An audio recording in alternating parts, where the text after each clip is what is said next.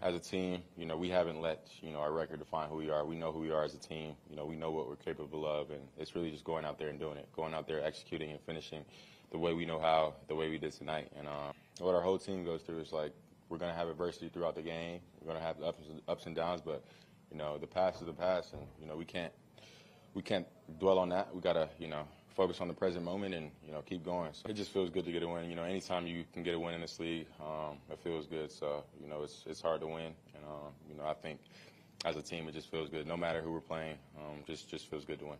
I mean, you know, I'm just taking it day by day. I'm not, you know, I'm where am I? I'm I'm right here. I guess you know I don't really know how to answer that question, but um, yeah, I mean, I'm just taking it day by day, just trying to uh, get better each and every day, uh, learn from my mistakes.